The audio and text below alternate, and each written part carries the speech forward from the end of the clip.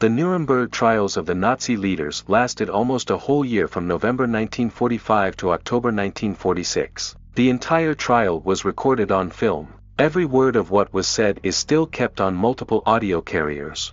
Many people have seen this heartbreaking picture the most brutal and inhuman people of the 20th century are laughing in their heartstrings right in the courtroom. If you don't know the criminals by sight, it would be difficult to understand who was on trial, and because it was an international tribunal, it was attended by representatives of many nationalities the British, the French, citizens of the USSR, the United States and the defendants themselves the top leadership of Nazi Germany. The statute of the Nuremberg Tribunal stated every word spoken must be translated into a language that the defendant will understand.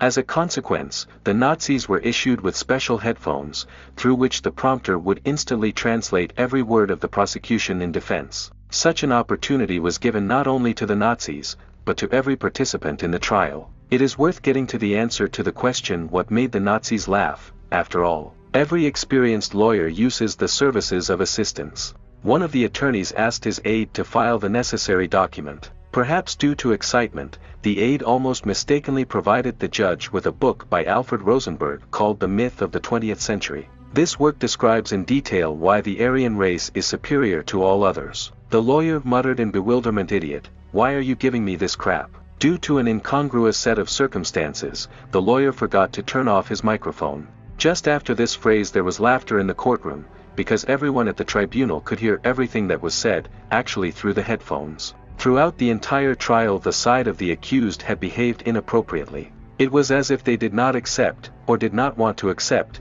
reality. Most of the defendants were confident in their total defense. The plan was for the Nazis to delay the trial as long as possible, but the international community was a little smarter than that, and did not let themselves be fooled again.